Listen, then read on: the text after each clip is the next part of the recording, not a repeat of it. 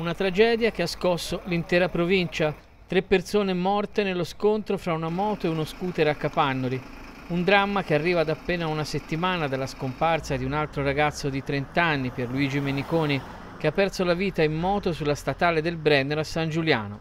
Dopo una pausa durata il tempo del lockdown, le nostre strade tornano purtroppo a coprirsi di sangue e la comunità torna a interrogarsi sulla pericolosità di alcuni incroci, ma soprattutto si mette nuovamente alla ricerca di risposte che non esistono.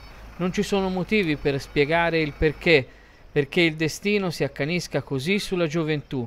Non ci sono parole per confortare l'immenso dolore di chi soffre per queste vite spezzate, per i familiari, per gli amici, incidenti che ci riportano alla realtà di una vita costretta a fare i conti con un destino crudele.